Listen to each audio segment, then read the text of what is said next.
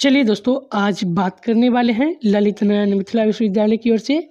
BA BSc BCom वाले student का क्या आज सेकेंड मेरिट लिस्ट जारी होगा? तो दोस्तों, कल आप लोग को पता था कि हमने पहले भी वीडियो में पहले भी बताया था कि आप लोग का जो सेकेंड मेरिट लिस्ट है, वो देरी हो सकती है जारी होने में। क्या दोस्तों, फ़िलहाल आज जो न्यूज़ निकल के आया है, उसके बारे में आप सभी लोग को बताएँगे। और यहाँ पे रिलेटेड न्यूज़ निकल के आया है कि आज हो सकता है जारी।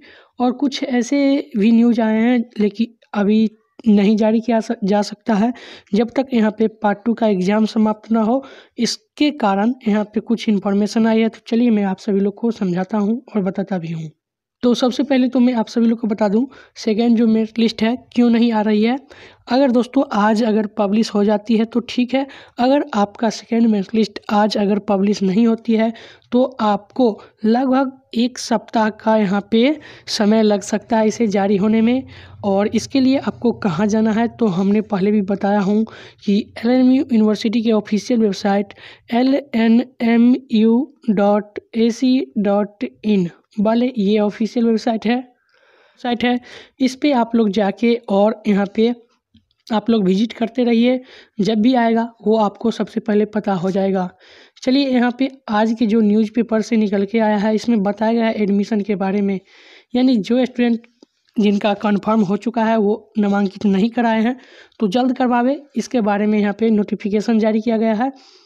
तो साथ ही इसमें और जो न्यूज़ निकल के आया था वो कि चौबीस घंटा के अंदर आप सभी लोग का जो, जिनका प्रथम लिस्ट में नाम आया है 2020 से इक्कीस में, यानी सेशन की बात यहाँ पे कर रहे तो 2020 से तेईस वाले सेशन के स्टूडेंट के बारे में।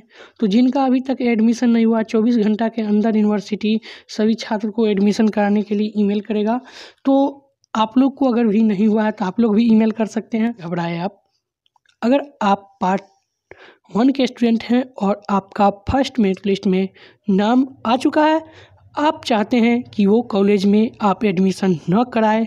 दोस्तों, किसी भी प्रकार की आपका समस्या नहीं है। अगर दोस्तों सेकेंड मेरिट लिस्ट में नाम आया तो अगर दूसरे कॉलेज में दे दिया तो आप करवा लीजिए। नहीं आया, तब पर भी आपको किसी भी प्रकार की समस्या नहीं है। अगर दोस्तों, आपका सेकेंड मेरिट लिस्ट में भी नाम नहीं आता तो आप थर्ड मेरिट लिस्ट का वेट करेंगे। थर्ड मेरिट लिस्ट में अगर नाम नहीं आता जिन स्टूडेंट का, वो क्या करेंगे?